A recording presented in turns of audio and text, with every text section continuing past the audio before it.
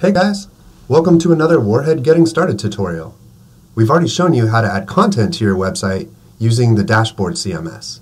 Today, we'll be showing you how to create a new theme, configure your layout, and add base styles prior to building your first layout. Let's get started. From the dashboard, click on Themes. This takes us to our Themes table, where you can see we already have two themes added. To create a new theme, simply click the Create button and name your theme. Once your theme's named, click Save, and your new theme appears. Today, we're going to be building a theme we already have that we'll be using in a future tutorial to create a layout. To build the theme, hover over the theme and click Build. Now we're in the Theme Builder. As you can see, the page is selected by default. The page needs to be selected in order for us to use the page styles and page settings in this panel here. Let's get started with the page settings. Click the settings cog, and as you can see, there are multiple different types of settings available. Today we're going to configure the layout grid. The layout grid in this panel is what you use to control all of the layouts for each page. Currently, it's a 960 pixel layout with 12 columns at 80 pixels.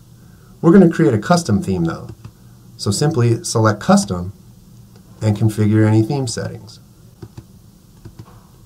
As you can see, now that I've changed my columns from 12 to 10, they instantly change. The last thing I'm going to do is change my column width. Let's move on to page style. Select the style icon, and now we're in the page style view. The page style view allows you to control all the styles for all the elements on your page. You can even control the styles for elements globally.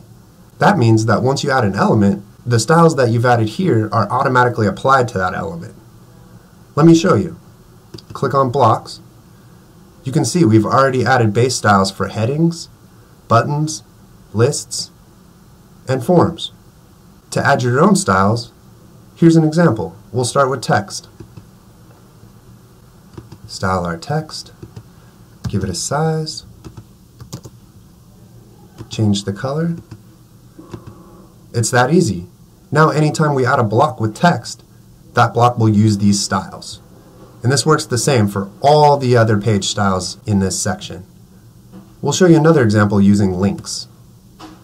Click links, change the text color,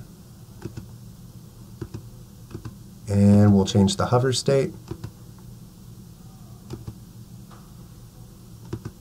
to this teal color, just like that. Now our text and our links have both been styled. So anytime we add a block that uses text or links, these styles will automatically be applied. There you have it. You've just seen how easy it is to create a new theme, configure your layout grid, and add base styles using Warhead. Stay tuned for a future tutorial where we use this theme and the base styles we've added today to create the layout for a photography website called Jameson Photography.